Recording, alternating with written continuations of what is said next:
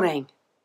I am absolutely delighted to be able to welcome you to our service today here at Christ the Servant King, CSK Hampton Church in Peterborough. We are so pleased that you've decided to connect with us via our YouTube channel. My name is Sylvia and I'm the vicar here. Later in our service today, Joel, our curate, will be speaking.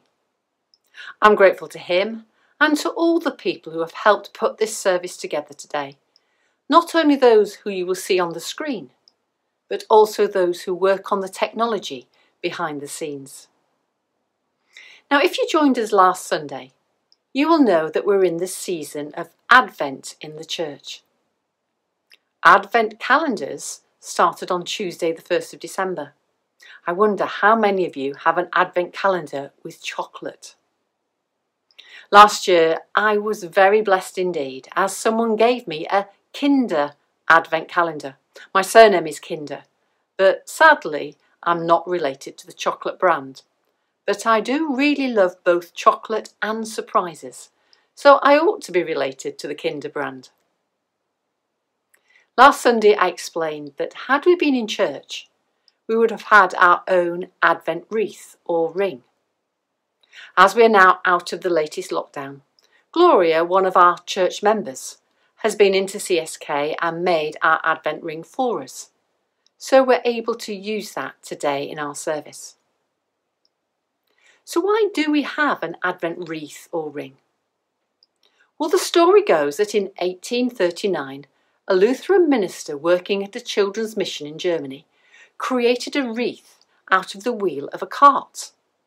The minister placed 20 small red candles around the outer ring of the wheel and four larger white candles inside the ring, lighting the red candles on weekdays and the four white candles on Sundays as a way for the children to count down the days until Christmas.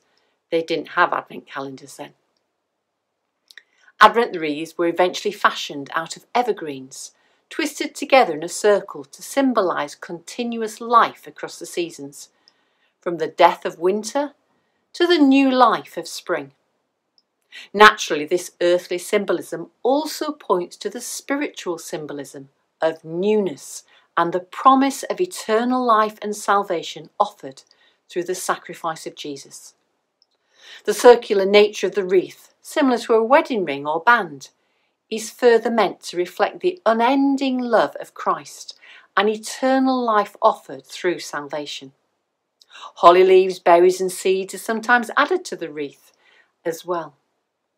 Holly leaves can be prickly and therefore used to represent the crown of thorns placed on Jesus' head during his crucifixion.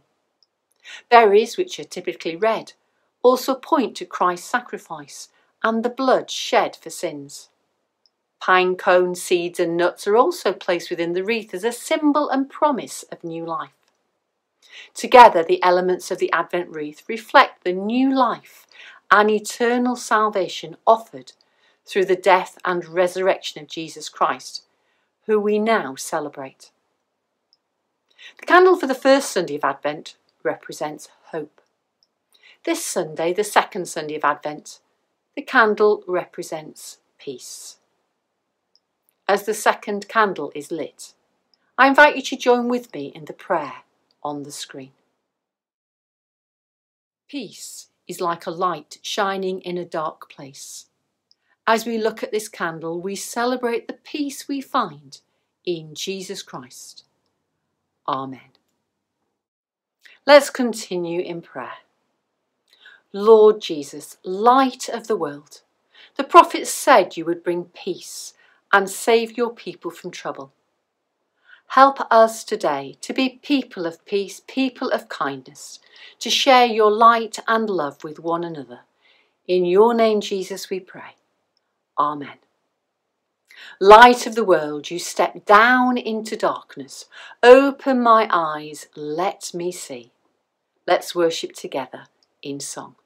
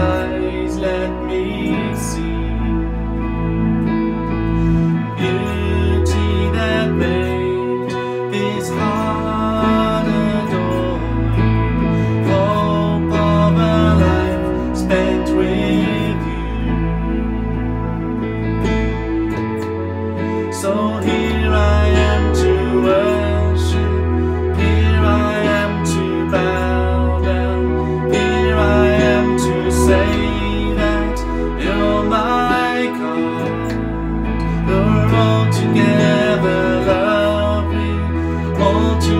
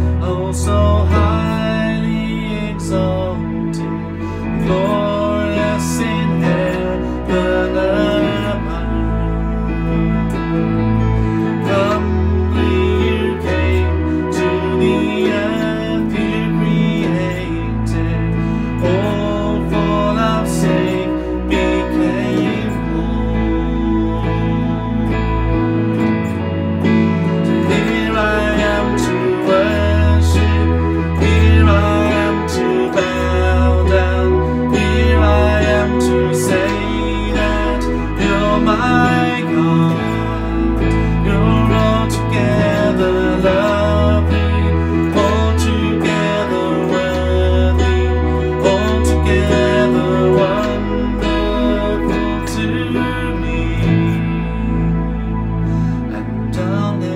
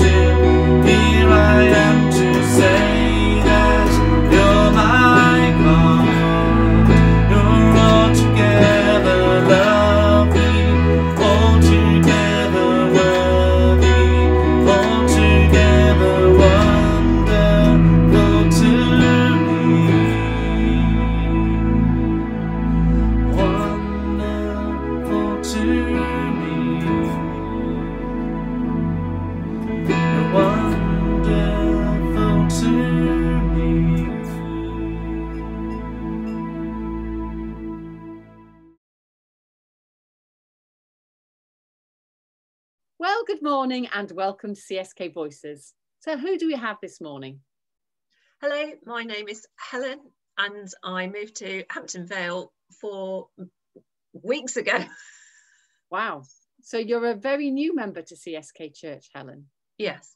Would you like to share with us um, how you God brought you to Peterborough and to Hampton and indeed to CSK Church? So, I'm going to start my story four years ago uh, when my husband got a job in Peterborough.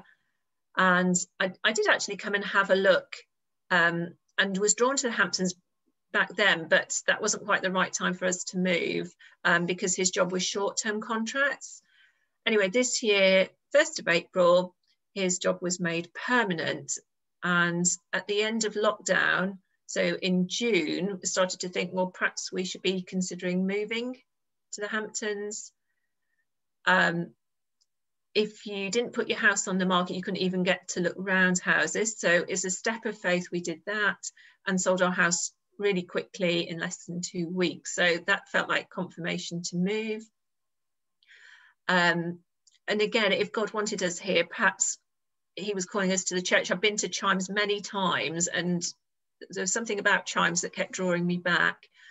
So my daughter and I went to visit the church um, just as it had opened up again. And we met the lovely Rachel, who was very enthusiastic, told us all about the different things the church was doing, like with a food bank, um, lots of things that they were hoping to do. And that felt in line with things that I'm interested in. And I felt perhaps I could help out in the church. Um, so we found a house quite quickly and offer was accepted in July. Um, but then things went really slowly um, and by September, I was starting to have a few doubts. Uh, things were becoming problematic with trying to get the purchase to go through. So I contacted you, Sylvia, um, and told you all about what was happening. And you prayed with me. You said the prayer chain would also pray for us to help. And you had a verse of scripture that said that God would counsel us in this situation, which was really helpful. And then very soon after that, um, my daughter also had a picture of Jesus being the anchor of the chain. So that's the chains, all the people in the sale. There were lots of people involved in selling their houses, but we're all anchored to Jesus and, and that he would see us through. And within a few days of that, we exchanged contracts. Um, and we moved five weeks after that, so at the end of October. Brilliant. And I understand God was very faithful to you as well in your Bible group back at your old church, because there was a significant passage of scripture then that He gave you that you felt guided you that this was the time. Would you like to tell us about that? Yes, yeah, so um, that was, we were doing the Bible course, I'm doing it online uh, back in June. And we were looking at Exodus, and that really spoke very strongly to me because it was saying that um, in, the, in the story of Exodus, God helps the people. So God makes the way for the people to, to leave. And um, it felt that's what he was saying to us that in spite of lockdown, in spite of a very difficult time to, I mean, the roads were almost empty.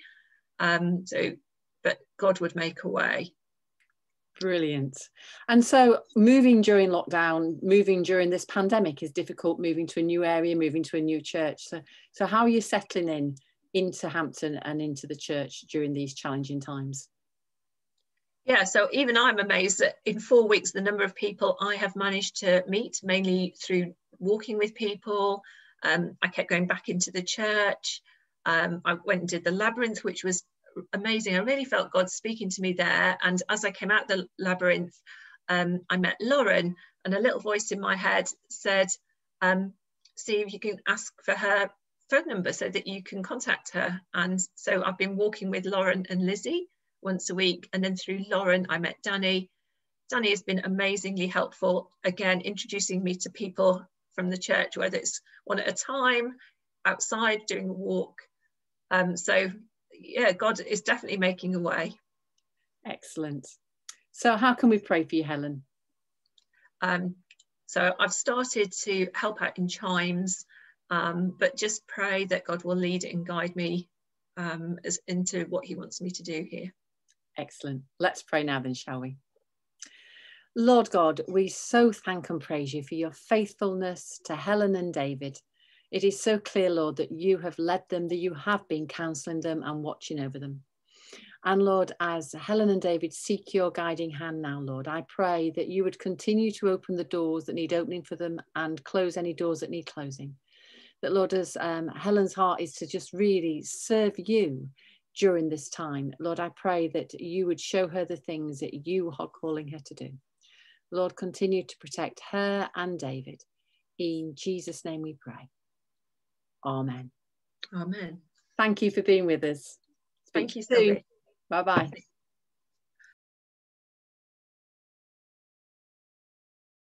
The reading is from Mark's Gospel, chapter 1, beginning to read at verse 1. The beginning of the good news about Jesus the Messiah, the Son of God as it is written in Isaiah the prophet. I will send my messenger ahead of you, who will prepare your way. A voice of one calling in the wilderness. Prepare the way for Lord. Make straight paths for him. And so John the Baptist appeared in the wilderness, preaching a baptism of repentance for the forgiveness of sins the whole Judean country and all the people of Jerusalem went out to him. Confessing their sins, they were baptized by him in the Jordan River. John wore clothing made of camel's hair with a leather belt around his waist, and he ate locusts and wild honey. And this was his message After me comes the one more powerful than I, the straps of whose sandals I am not worthy to stoop down and untie. I baptize you with water, but he will baptize you with the Holy Spirit. This is the word of the Lord. Thanks be to God.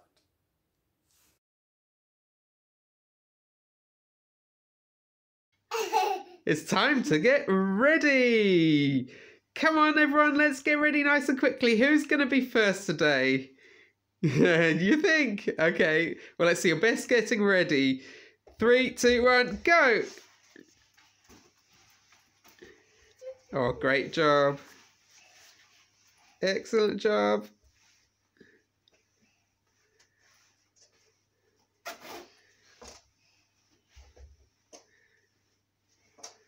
Sarah, uh, what?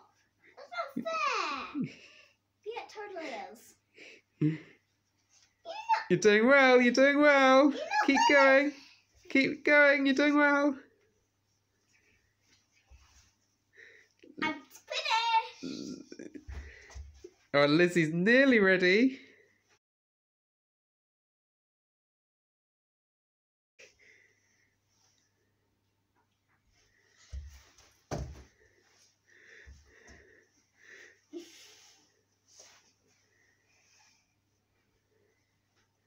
And last one. Nearly there. Yeah, Liz is ready too. Well done. You're ready to go now. Well, didn't my girls do a wonderful job of getting ready? Well, talking of getting ready, um, I'm getting ready for something at the moment. I'm, I'm getting ready for Christmas. And to be honest with you, I'm getting a bit stressed about being ready for Christmas. This is the first time that we've hosted the extended family at our house for Christmas. So I'm, I'm a bit nervous. What if everything goes wrong? What if I forget something? Well, I've made this list, and it's a big list of things that I need to get ready for Christmas. And I've got to get ticking these things off as soon as I can. Well, let's take a look at them one by one. Here's the first one. Let's see, am I ready with this? It says, decorate the tree. Well, I've got a Christmas tree and it's very nicely decorated thanks to some help from my from my family. Got some lovely lights on it and it's looking nice. So that's good. We made a start to the list already. Excellent. Well, what's next?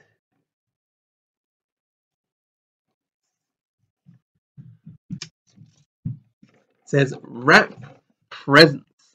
Well, there's a bit of a problem there because I haven't finished buying my presents yet, so how can I wrap them?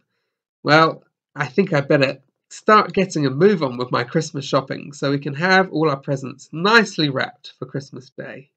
What else have we got? What's our third one? Ah. It says make Christmas pudding. Well, I don't buy a Christmas pudding in my house. Um, I like to make my own, and I've been doing it every year for quite a while. And I've already made my Christmas puddings this year. So my Christmas pudding is sitting in the cupboard, aging nicely, waiting for Christmas Day. It's ready. Well, I'm glad I've done some things on this list.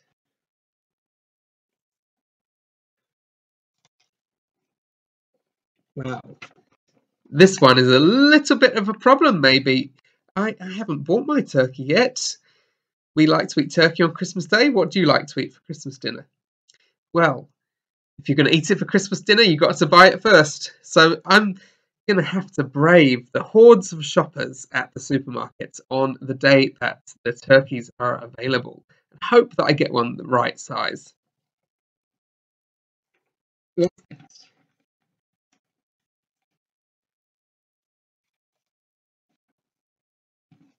says clean and tidy the house. Well, if we're going to have people round, we've got to have a lovely, clean and tidy house. Well, we cleaned and tidied it at the weekend, and it looked pretty nice then.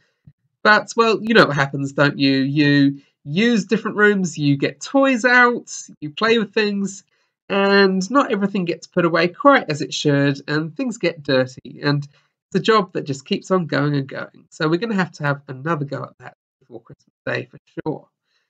Well, I've got lots of work to do. What's the last one on my list here?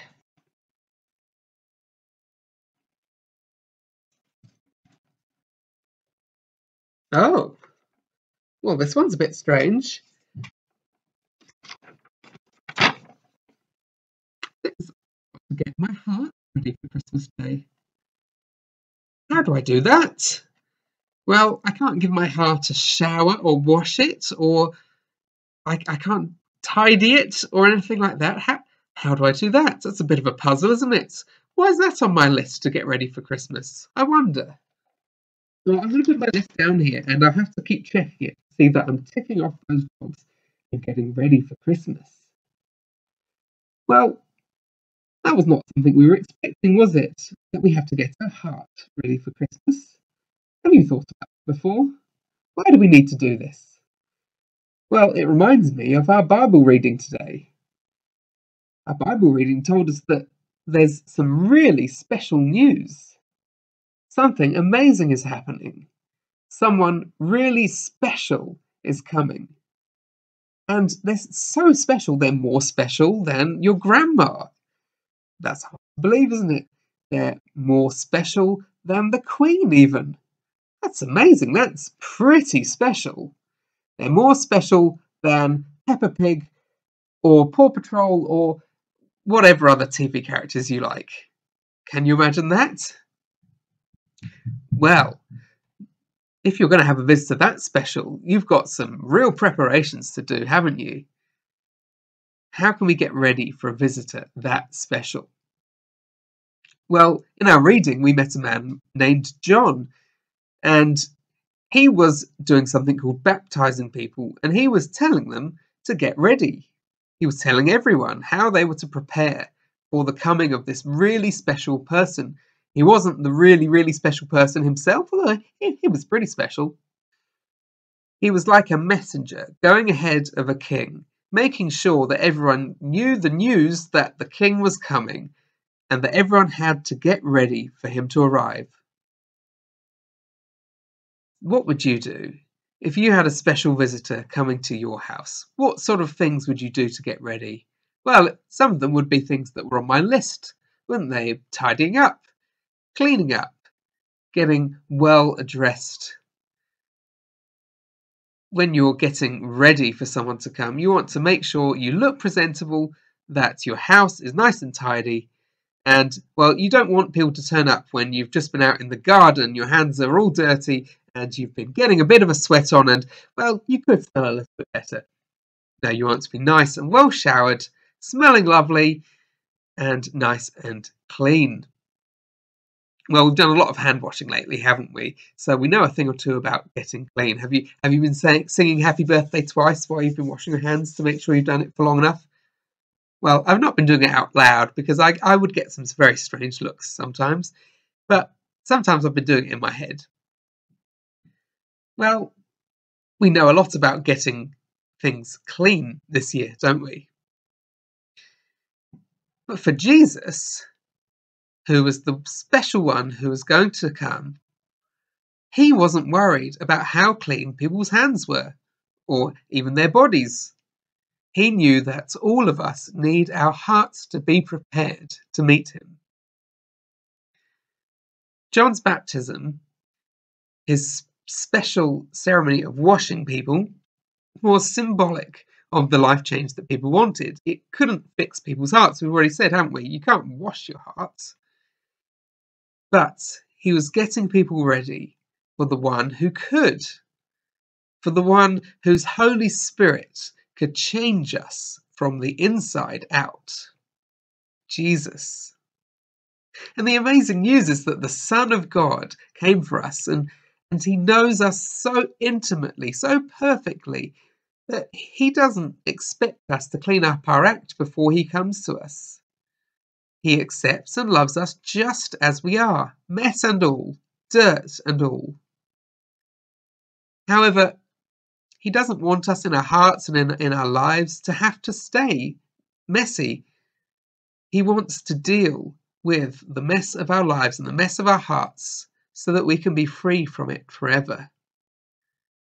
And he died for us on the cross to take away the uncleanness of our hearts, our sin, the way in which we've disobeyed God and let Him down, the way in which we've hurt each other.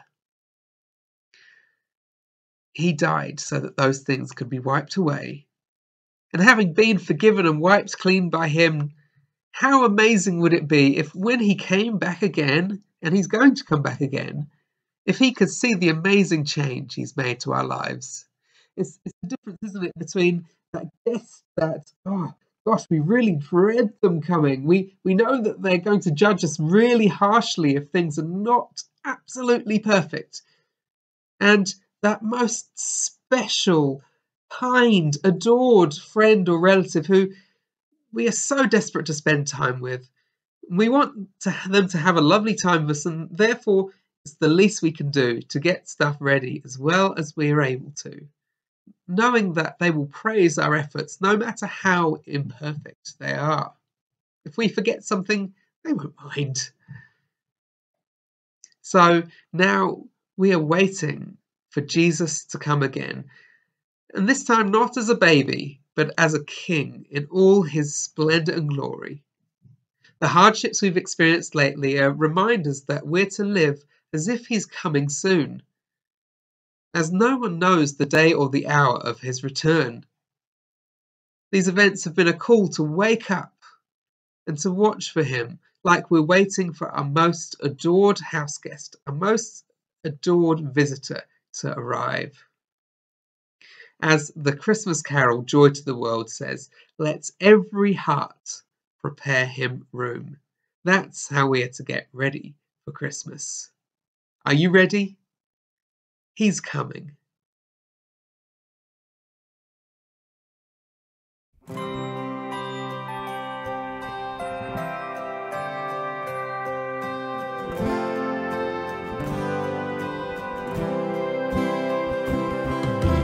Joy to the world,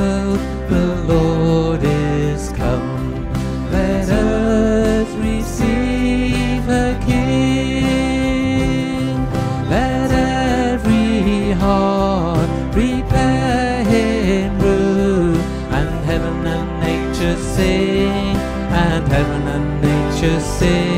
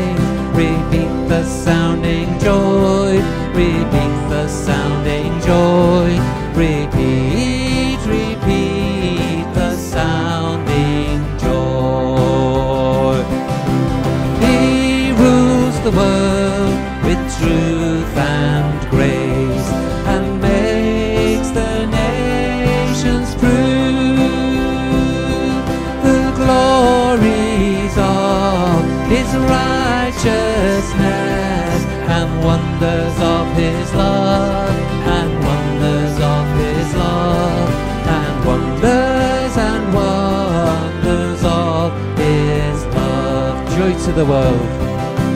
Joy to the world the lord is come. Let earth receive her king. Let every heart prepare him room and heaven and nature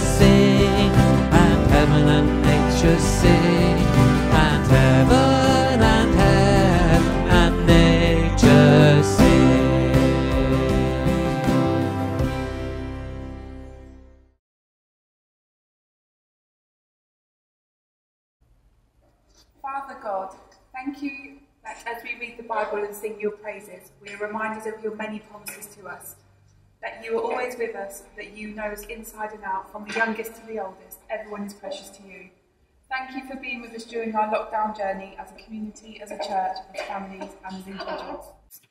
As we are reminded of Mary cradling her newborn son, we pray for all mothers who have welcomed babies during the COVID pandemic, those known to us and those who we've yet to meet. We bring them before you now as they continue to love and care for their sons and daughters, speaking to their anxieties with your still small voice of calm.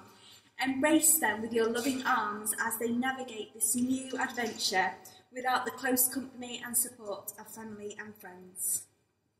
As we are reminded of Joseph, we know that you brought peace to his heart when he faced confusion and fear. Be with all new fathers at this time as they seek to care for their children, as mm. Joseph cared for Mary as they travelled to Bethlehem. Give fathers the strength to care for those they love and affirm them in this new role. As we're reminded of the birth of your Son, we pray for all children as they near the end of their busy term at school. Thank you for their resilience, their sense of awe and wonder, their love of life. Keep them safe, we pray. May we all be reminded of your love for us as your children.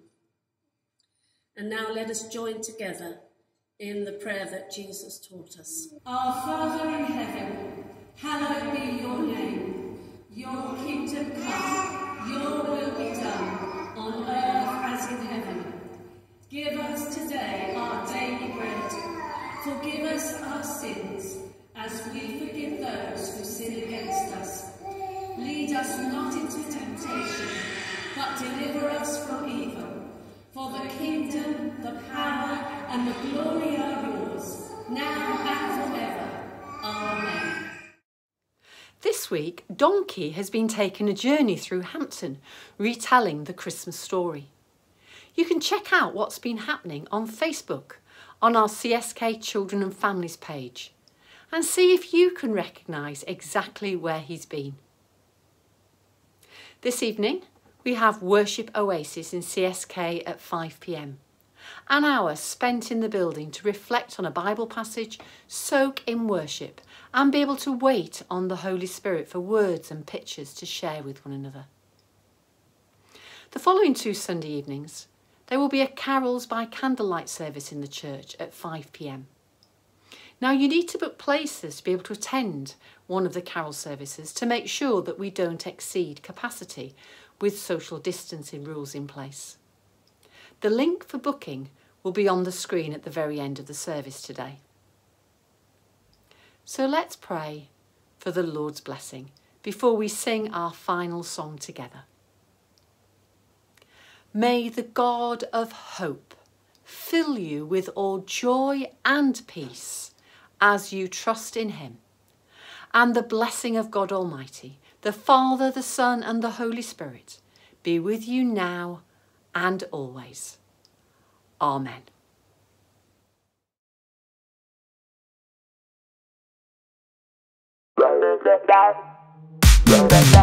Thank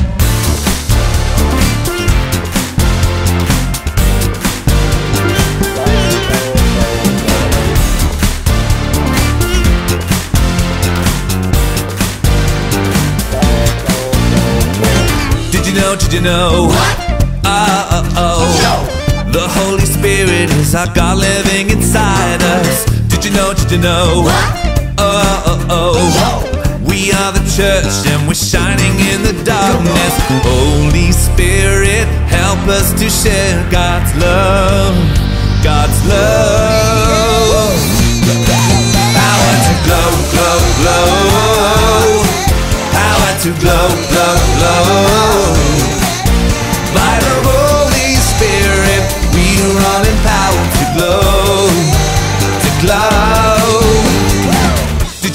You know? Did you know? What?